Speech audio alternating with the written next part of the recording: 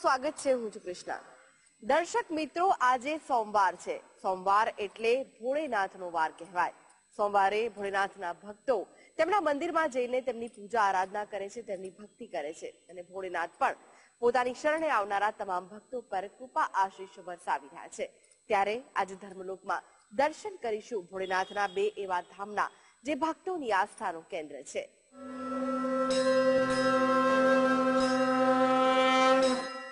મહેસાણાના બોરિયાવીમાં આવેલું છે મસિયા મહાદેવનું મંદિર. આ મંદિર સાથે એક કથા જોડાયેલી છે. લગભગ પાંચસો વર્ષ પૌરાણિક આ મંદિર માટે એવું કહેવાય છે કે અહીંયા શિવજી સ્વયંભૂ પ્રગટ થયા હતા અને અહીં શિવલિંગની સ્થાપના થઈ. ત્યારે આ મંદિરે આવતા ભક્તોને જે દુઃખ દર્દ હોય છે તે પણ મસિયા મહાદેવ દૂર કરે છે. તો ચાલો દર્શન કરીએ મહેસાણાના બોરિયાવીમાં બિરાજતા મસિયા મહાદેવના.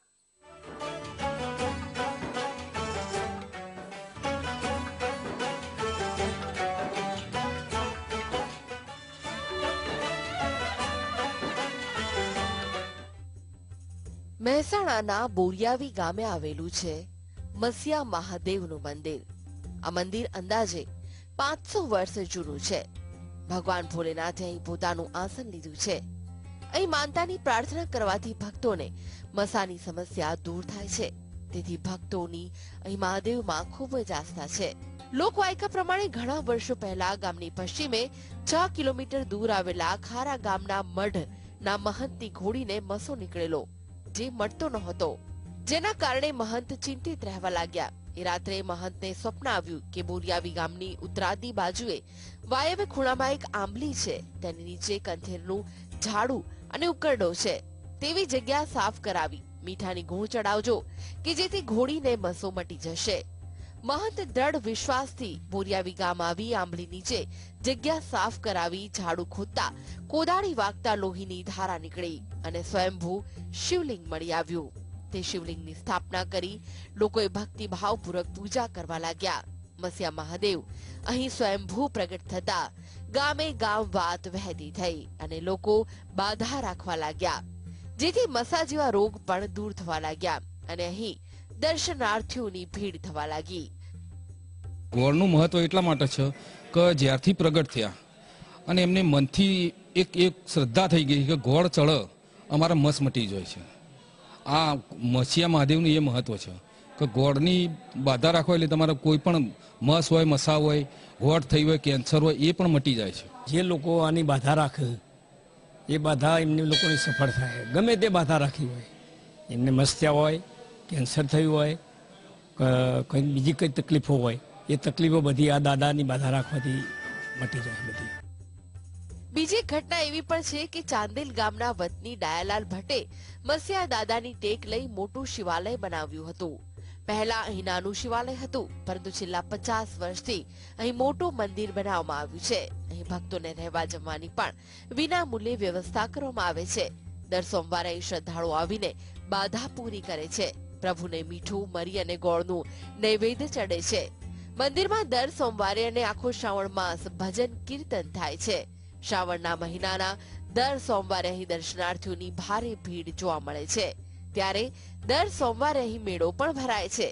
તેમજ શ્રાવણ અમાસે અહીં ગામમાં મસિયા મહાદેવની ભવ્ય શોભાયાત્રા નીકળે છે.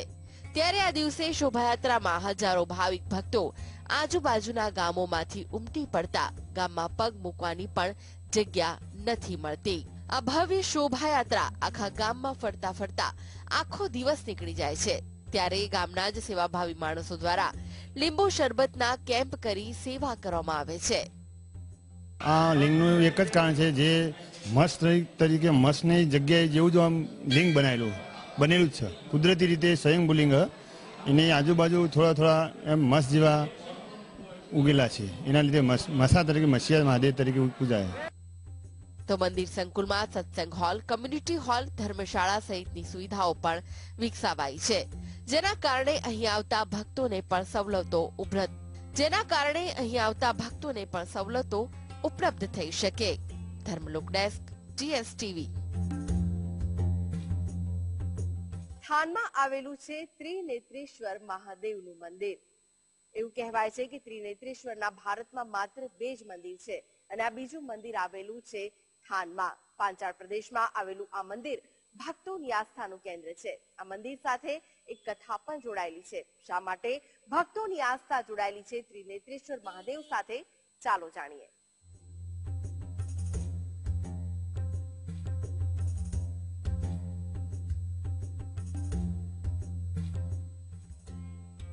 વિશ્વભરમાં તરણેતરનો મેળો પોતાની આગવી ઓળખ ધરાવે છે. ભાતીગળ સંસ્કૃતિની ઝાંખી કરાવતો વિશ્વભરમાં પ્રસિદ્ધ છે. આ મેળો ભારતના મોટા મેળામાંનો એક છે અને તે જ ધરતી પર ભરાય છે. તે ધરતી એટલે પાંચાળ.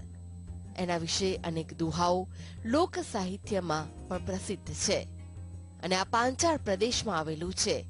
ત્રિનેત્રેશ્વર મહાદેવ. ભારતભરમાં ત્રિનેત્રેશ્વર મહાદેવના માત્ર બે મંદિરો છે. એક તરણેતરનું ત્રિનેત્રેશ્વર મહાદેવ અને હિમાલયમાં બધિકાશ્રમ પાસેનું ત્રિનેત્ર તીર્થ. બંને શિવાલયો પ્રાચીન તેમજ પૂજનીય છે. ભગવાન વિષ્ણુજીએ કમળ પૂજા કરેલી એક કમળ શિવે સંતાડેલું. પછી એનું આજે આંખો એ કમળ છે કમળ પૂજા કરેલી એટલે ત્રિનેત્રેશ્વર મહાદેવ નામ પડ્યું. આ મંદિર સાથે એક વાયકા જોડાયેલી છે. અયોધ્યાના સૂર્યવંશી રાજા યુનાશ્વની સંતાન હોવાથી તેમણે તેમના ગુરુ વશિષ્ઠના સૂચનથી યજ્ઞ કર્યો હતો. તેના તપોબળે તેમના ત્યાં પુત્રનો જન્મ થયો, જેનું નામ મધાંતા હતો અને આ તરણેતરનું મંદિર મધાંતાએ બંધાવેલું હતું. આ ઉપરાંત આ મંદિર સાથે એક એવી પણ વાત જોડાયેલી છે, જે મહાભારત કાળની છે. તે સમયે દ્રુપદ નગરી પાંચાળમાં હતી. મહાભારતની કથા અનુસાર દ્રુપદની પુત્રી દ્રૌપદીનો સ્વયંવર તરણેતરમાં યોજવામાં આવ્યો હતો. તે સમયે બ્રાહ્મણના વેશમાં પાંડવો સ્વયંવરમાં આવ્યા હતા અને અત્યારે આ સ્થળ ઉપર જે કુંડ આવેલો છે, તેમાં અર્જુન દ્વારા મત્સ્યવેદ થયો હતો. આ રીતે દ્રૌપદીના વિવાહનો પ્રસંગ પણ જોડાયેલો છે. ઐતિહાસિક રીતે જોઈએ તો તરણેતરનું મંદિર દસમી સદીનું હોવાની વાયકા છે. મંદિરની શૈલી, ગુજર, પ્રતિહાર પ્રકારની હોવાથી સંશોધનકારોનું કહેવું છે કારણ કે પ્રતિહારો રાજાઓ શિવાલયો બાંધવાના શોખીન હતા. જેથી તેઓ આ મંદિરનો જીર્ણોદ્ધાર કરાવ્યો હતો. આમ પણ પ્રતિહાર રાજાઓ આઠમી સદીમાં સૌરાષ્ટ્રમાં આવ્યા હોય તેવા પ્રમાણો ઇતિહાસમાં છે.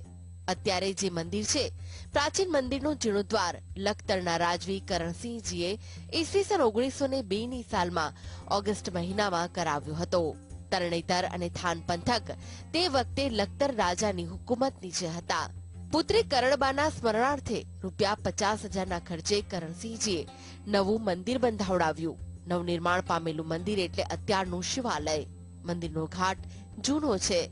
તેના ઉપર નવા મંદિરની બાંધણી થઈ. આ મંદિરથી થોડે દૂર તરણેતર ગામ આવેલું છે. અહીંયા મંદિરના ગુમ્મટની ચારે દિવાલે નવગ્રહની મૂર્તિઓ કોતરેલી છે. છતમાં એક અદ્ભુત શિલ્પ છે. તેમાં વચ્ચે માત્ર એક મસ્તક અને તેની આસપાસ પાંચ ધડ વર્તુળાકારમાં ગોઠવાયેલા છે. તરણેતર મંદિરની ત્રણ બાજુ કુંડ છે. તેને વિષ્ણુકુંડ શિવકુંડ અને બ્રહ્મકુંડ એમ ત્રણ આદ્ય દેવોના નામ જોડ્યા છે. મંદિરની ચો ઊંચો ગઢ છે. એક માન્યતા પ્રમાણે પ્રાચીન મંદિરોના અવશેષોને આ ગઢમાં ચણી લેવામાં આવ્યા છે. એક એકર જમીન ઉપર ઉભેલું મંદિર પ્રમાણમાં નાનું છે, પણ તેની કોતરણી અનુપમ છે. આ મંદિરે ભક્તો આસ્થા સાથે આવે છે. મહાદેવના ચરણોમાં શીશ ઝુકાવીને ધન્ય થાય છે. Dharmalok desk, GSTV.